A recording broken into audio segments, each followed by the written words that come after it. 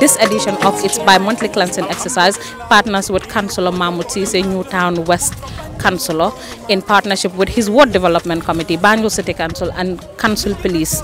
And uh, it is geared towards ensuring safety, cleanliness and promoting a healthy environment within Banjul.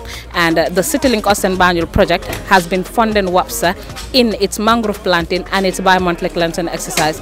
So this is what makes a difference and we hope that every Banjulian takes part of takes ownership of this project and takes part in the cleansing exercise to make sure that Banjul is clean. I guess you guys have seen the job these people have done and I hope you would keep the gutters clean to ensure that there is safety in Banjul because this is definitely not healthy. Let's be part of the team that is promoting cleanliness.